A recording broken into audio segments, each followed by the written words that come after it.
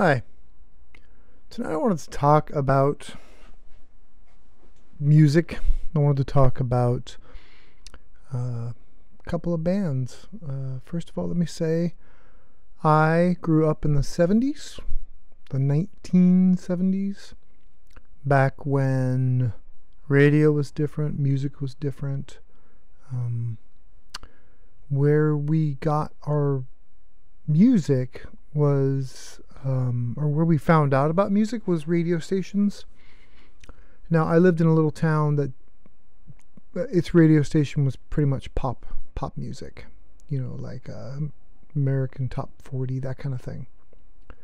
And but I had a friend whose mom was one of the cool moms, and she loved good music. So when I was in somewhere in middle school, maybe uh, in the late 70s, early 80s, uh, I discovered a band called The Doors. Now, if you've never heard of The Doors, it's a four piece group from Los Angeles. Jim Morrison was the lead singer, Robbie Krieger, the guitar player, John Densmore was drums, and Ray Manzarek was the keyboard player. Interesting thing about this band, they did not have a bass player.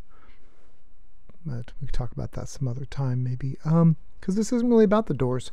So the thing about this is that I loved the Doors. I thought it was the most awesome music I'd ever heard. I had grown up on uh, Creedence Clearwater Revival, um, and a lot, a ton of 50s and early 60s uh, rock and roll.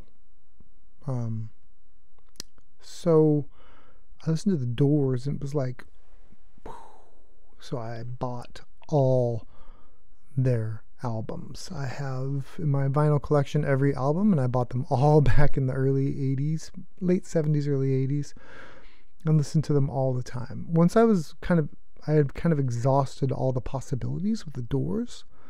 Um, I read an article in a magazine or something that talked about Ray Manzarek um, because I knew, of course, the whole story of Jim Morrison died uh, when uh, died of a heart attack in Paris, probably drug related or alcohol related, um, and that the band just kind of disappeared after that. But Ray Manzarek was a producer, and he was the producer of another Los Angeles quartet called X. Now, X, their first album, Los Angeles, was a steady part of my life once I discovered the fact that Ray Manzarek had something to do with the band. I'm like, I have to, I have to uh, get this band. So I bought the cassette tape of Los Angeles, and I played it over and over and over and over again on it, you can hear keyboards. And I looked in the liner notes, such as they were on the cassette, and uh, Ray Manzarek is credited uh, with playing keyboards as well. So it was kind of like I had one fourth of the Doors in this band that sounded nothing like the Doors. Okay, why am I talking about this this morning or uh, this evening, whatever time it is? Well, I'm talking about this because every single morning well, let me just move on with X first. Uh, I I bought Wild Gift. Um, I bought a couple of other other albums, and then I kind of just moved on from X. There's a lot of music in the '80s, and uh, uh, I kind of kept up with X a little bit, and then kind of went on to other things. I still love them. I still love Los Angeles. Uh, I think it's uh, I, there's just something in it that really really speaks to me. So, every morning, almost every morning, for a long time now, I can't say how long, but a long time now, uh, there's an X song that just gets stuck in my head. Uh, and this X song uh, is stuck in my head because I grind my own coffee beans. I grind my own coffee beans. And these uh, coffee beans, I put them in the grinder. And my grinder is one of those Braun, classic Braun grinder where you just push the button on top. And my coffee beans are usually very dark roast and they stick together and they don't tend to grind very well. So, what I have to do, what I've kind of throughout the years discovered, is the best way to do it is to pulse the grinder. But I pulse it for a long beat and then short beats. And so the grinding kind of goes like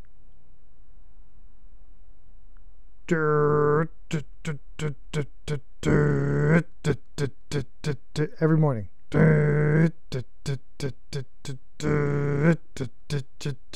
That's my grinding. Every morning I do that for about five to seven seconds, and then my beans are all ground. Um, yep, and that is um, why the X song is stuck in my head. If you're an X fan, you know what song gets stuck in my head. It's unheard music, the unheard music, and it uh, it's funny because a lot of X's uh, songs, I never like. I honestly, I I didn't memorize the lyrics. I kind of just mumbled along, sang the chorus. Um, Los Angeles, you know, I could sing, and uh, and this one, uh, the unheard music. I never listened to the lyrics before. Uh, it's kind of an interesting story, and I, I'd love to find the story. Maybe I'll add another video um, when I find out what the story is to unheard music. Uh, but it's it's not that it's it's the the the music that gets me. It's just that, and I'll, I'll uh, maybe I'll put the video on my YouTube channel, and you guys can listen to it, or you can just find it yourself. Um, interesting. The last thing I want to say about the song uh, is that there's a lyric in it that goes. Uh, you know, all my my whole I, I, since I've been listening to the song, uh, it's gone in my head. It's some or so smooth chord on the car radio, and all I really knew was car radio, right?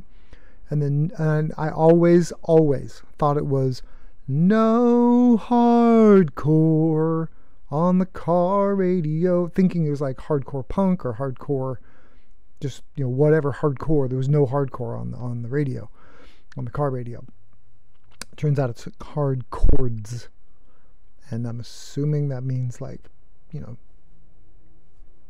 distorted chords or like rock chords. So, and maybe the whole point of the song is that kids are rebelling against their parents and uh, and the song's you know it's talking about uh, them actually killing all their parents uh, and maybe it's because they're not getting what they need on the radio.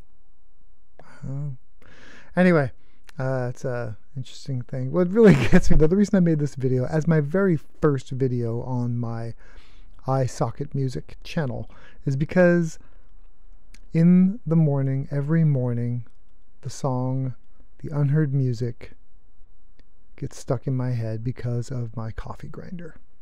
And I just wanted to share that with you.